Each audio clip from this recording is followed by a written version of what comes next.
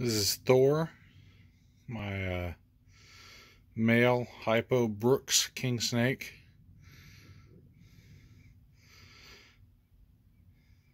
And uh, he just shed this morning, so I figured I'd get a little video of him for you guys.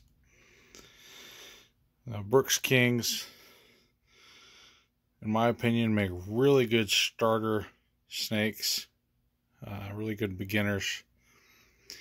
Uh, they get good size without getting enormous, like boas or some of the larger pythons. Uh, these guys get around, average around five to six feet. And for a king snake, they're pretty darn bulky.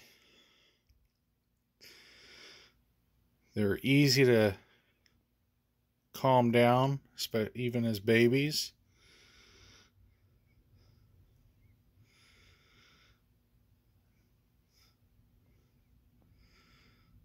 They usually have really good appetites. They're easy to care for.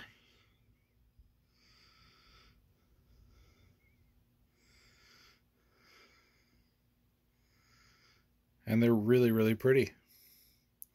Brooks King snakes come in uh, several, lots of different morphs.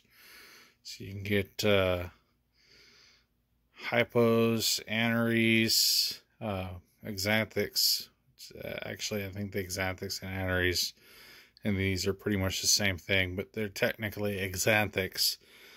Uh, Xanthics are, it means that they have a lack of the yellow pigment.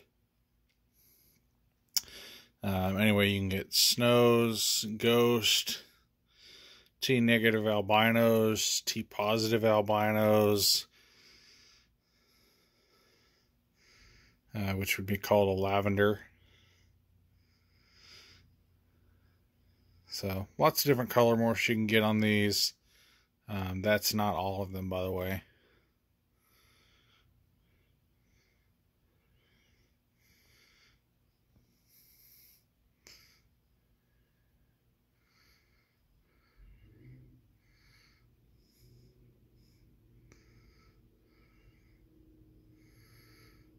That pattern, um, and some of them tends to fade out to where you almost can't even tell that there's a pattern. Um, and other ones, it'll stay where you'll see these, it'll stay pretty much like this as it gets older. So, never mind the laundry basket or the pile of laundry. Anyway, that's uh, Thor.